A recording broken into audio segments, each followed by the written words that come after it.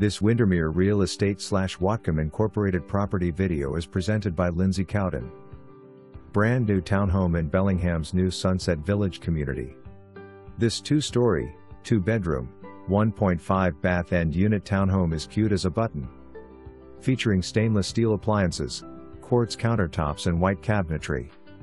Walkable to shopping, dining, bus line, and trail system. Don't miss out on a great opportunity.